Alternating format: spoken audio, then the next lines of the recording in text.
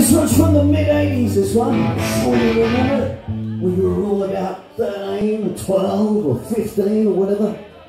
And you were about 10. this one's called Who Made Who